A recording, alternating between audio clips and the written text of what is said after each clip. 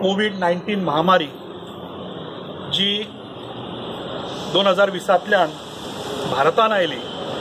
आणि त्याच्यानंतर जो एकंदरीत पूर्ण देशान आणि गोंयांत ह्या महामारीचो हाहाकार जालो ताका लागून गेल्या वर्सा आमी प्रोग्रेसीव फ्रंट ऑफ गोवा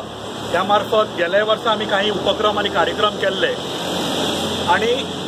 ह्याही वर्सा जो सेकंड वेव जी आयली त्या सेकंड वेवीन खरं म्हणल्यार मनुष्य हानी जे खुबशे आमचे मित्र आमचे जवळचे असे खूप जाण ह्या दुसऱ्या महामारीन दुसऱ्या वेवीन गेल्ले आसा आज सगळे आमी जेन्ना मेळ्ळे तेन्ना असो विचार आयलो की सुरू करचें कितें तरी एक कार्य सुरू करचें जाका लागून जे खरेच गरजू आसात तांच्या पर्यंत ती मदत पावची. ह्या महामारींतल्यान तशें पळोवंक गेल्यार खूब जाणांच्यो नोकऱ्यो गेल्यो हो. खूब जाणांचे उदरनिर्वाहाचें साधन जें आसा तें गेल्लें आसा आणि आणि ह्या परिस्थितीन तांच्या पर्यंत पावप असो म्हणून आमी एक विचार घेवन आमी फुडें सरले आमची पूर्ण टीम म्हज्या बरोबर आसात ॲडव्होकेट रिजना शिरोडकर बाब अमन लोटलीकर हे टीव्हीचे आसात निहाल परब उमेश गाड हे आमचे मुळगांवचे रवी हरमलकर सुभाष राजू असे आमचे हे मुळगांवचे आणि म्हजे बाकीचे मित्र असे म्हणून आम्ही ठरयलें की दिवचलच्यान हाची सुरवात जावची आम्ही असे म्हणटा की गव्हर्नमेंट ते पूर्णपणे फेल झाले कारण आता आम्ही पहिला की टप्प्याटप्प्यान कर्फ्यू जो आसा तो वाडयलो सात सात दीस वाडयला आणि एव्हरी वीक तेंच्यांनी खंय ना खंय कर्फ्यूचे रिस्ट्रिक्शन्स कमी केले. पूण ज्या टायमार लॉकडाऊन किंवा कर्फ्यू करूंक जाय आशिल्लो जाहीर त्या टायमार गव्हर्मेंटान करूं ना तांचे जे कितें इंट्रस्ट आशिल्ले मायनिंगाचो इंट्रस्ट आसतलो इलेक्शनाचे इंट्रस्ट आशिल्ले हे आपले सगळे इंट्रस्ट तेंच्यांनी पयलीं पयले लोकांचे लायफ हे गेल्यार कोता येता पूण तेंचे इंट्रस्ट वेस्ट जावंक जायना सो तांच्या वेस्टेड इंट्रस्टाक लागून हे जे दोन हजार लोक जे बळी गेले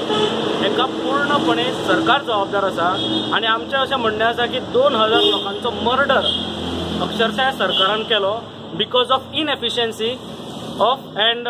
inefficiency of these government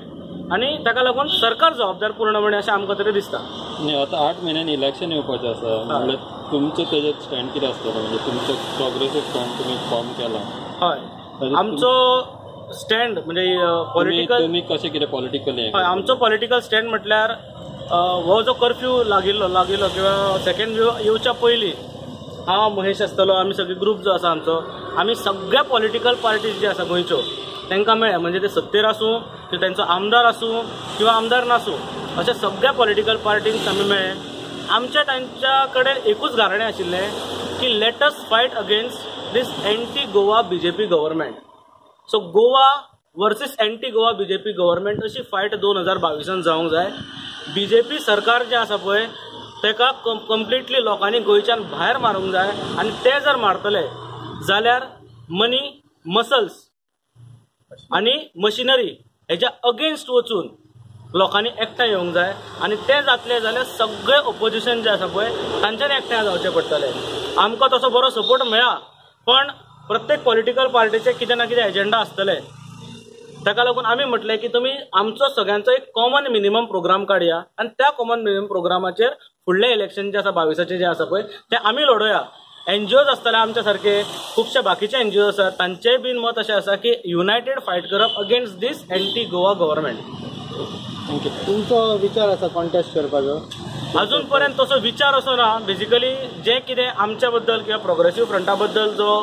political विचार जातलो तो एक प्रोग्रेसीव फ्रंट म्हणून घेतलो घेतलो. समजा आमच्या भितरले समजा कोणी निवडणुकूक वतले बीन जाल्यार ते जाहीर जे आसा ते प्रोग्रेसीव फ्रंट ऑफ गोवा येता त्या टायमार प्रेसा समोर येतले. समजा करतले ना करतले किंवा खंयच्याय पक्षाक आमी सपोर्ट करतले. हो जो विचार जो आसा प्रोग्रेसीव फ्रंट ऑफ गोवा एक जो वेवस्थीत टायम काडून आमी सांगतले.